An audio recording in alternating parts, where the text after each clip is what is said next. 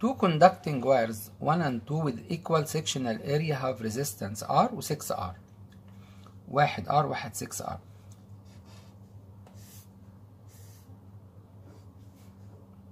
الاثنين نفس الكروس sectional area هنا R وهنا 6R بيقول the potential difference across wire 1 is half the one maintained across wire 2 يعني مثلا لو ده يقول لي 1 نص التاني. مثلا نخلي ده 2 في وده في أو ده نص في وفي نفس الشيء. المهم ده نص ده. كده أقدر أعرف التيار هنا والتيار هنا. بيقول if the charge concentration is the same in both wires. يعني ال N تساوي ال N. طبعا ال Q تساوي ال Q اللي هو شحنة الإلكترون.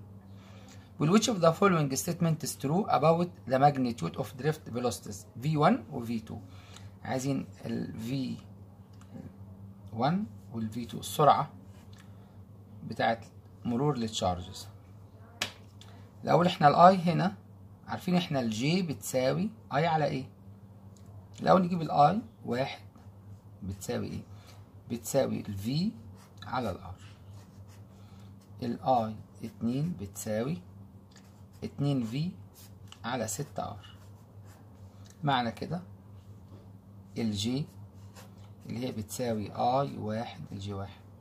على A طبعا نفس ال cross sectional area بيقول هتساوي V على A R وهنا ال J 2 هتساوي اتنين كان أحسن ضيعنا الاتنين نقول V بقى. على تلاتة A R طيب يبقى نقول كده. ال V على A R بتساوي ال n في ال q في ال v1 وهنا ال v على تلاتة اي ار أنا بعوض بقانون ال j اللي هو n في q في ال v2 إحنا دلوقتي عايزين علاقة ال v واحد بال v2 نقول كده. هقسم ده على ده. يعني هقول ده.